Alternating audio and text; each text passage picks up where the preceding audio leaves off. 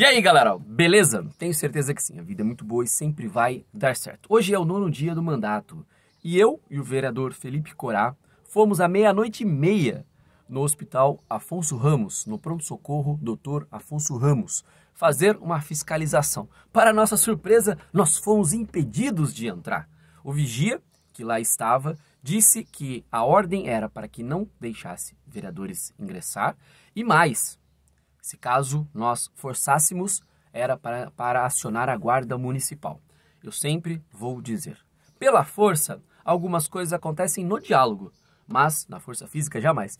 Informei a ele que nós conversaríamos com a secretária de saúde e assim que fosse resolvido esse mal entendido, nós ingressaríamos. Foi o que foi feito uma hora da manhã, falando com a secretária de saúde, ela liberou o nosso acesso e nós entramos no Hospital Afonso Ramos. Então, agradecendo a secretária de saúde, Lucimeire, que na madrugada me atendeu para que pudéssemos fazer a fiscalização no Afonso Ramos. E que tipo de fiscalização é essa?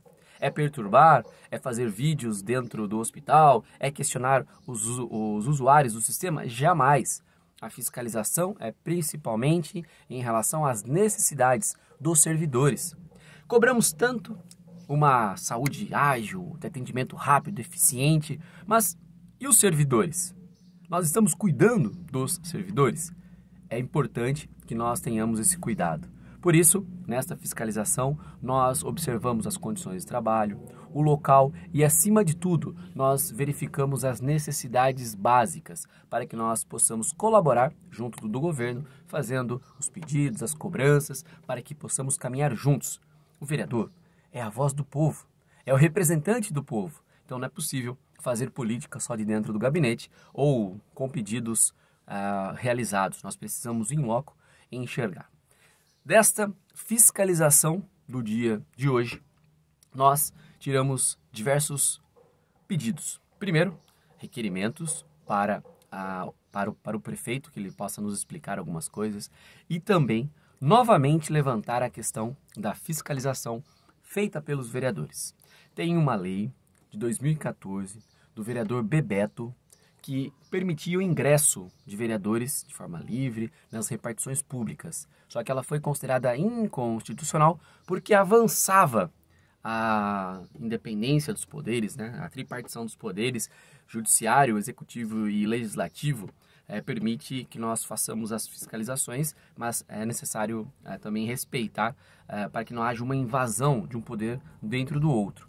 Mas já estou trabalhando num projeto para que permita vereadores ter acesso a toda a prefeitura, a todos os setores, mas claro, de uma forma constitucional, pois hoje o poder é, legislativo fiscaliza o poder executivo é, de uma forma integrada e não de forma particularizada. Só que não é possível que todos, que a Câmara toda tenha um interesse na fiscalização de forma igual. Por isso, nós faremos esse projeto para apresentar também dentro da Câmara Municipal para regulamentar o artigo 19 da Lei Orgânica de Santa Bárbara do Oeste. Um breve resumo do, das principais ações desse nono dia. Claro, atendemos munícipes, olhamos é, diversos pontos também, questão de asfaltamento, praças com mato alto e outras questões que nós vamos continuar tratando. Este foi o nono dia do mandato. Sobre o hospital, ainda vai ter um vídeo específico que nós fizemos ontem lá na frente e tal, para que vocês possam entender um pouco dessa questão. Mas este é o resumo diário que nós estamos fazendo. Este foi o nono dia de mandato. Estamos juntos. A vida é muito boa e sempre vai dar certo.